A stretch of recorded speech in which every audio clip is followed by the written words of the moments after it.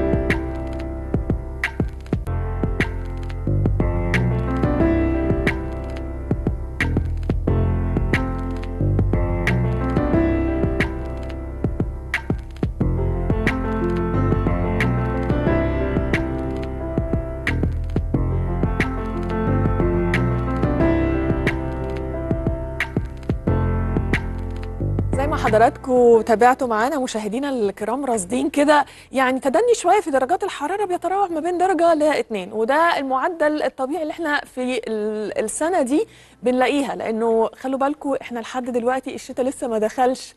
يعني إحنا في نص عدينا كمان نص شهر 11 ولسه ما حسيناش بالصقيع بتاع آه، برد الشتاء. و يا رب ما نحسه يا هبة. يا ريت ما نحسوش بس. هو هو جاي جاي.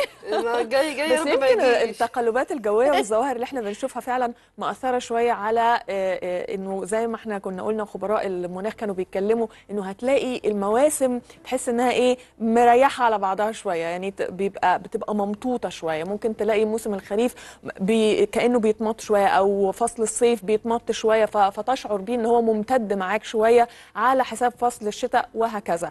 آه إن شاء الله يجعله. إحنا عايزين الاعتدال قدر المستطاع. الصيف. على طول. إن شاء الله.